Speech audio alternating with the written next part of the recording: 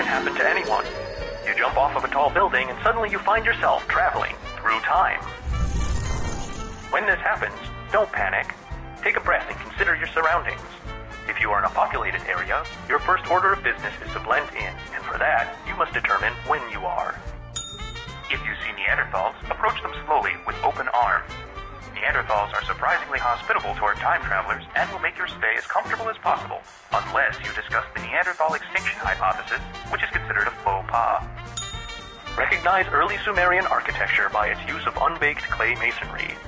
As this culture is strongly xenophobic, avoid loud words and forceful gestures. Wingsuits and modern trinkets make acceptable gifts, but make sure to reserve your cell phone and other consumer electronics for governors or men of higher station. You find yourself trapped in the Iron Age, you may leave a message to future generations by inscribing it on a steel plate and baking it within a clay statue.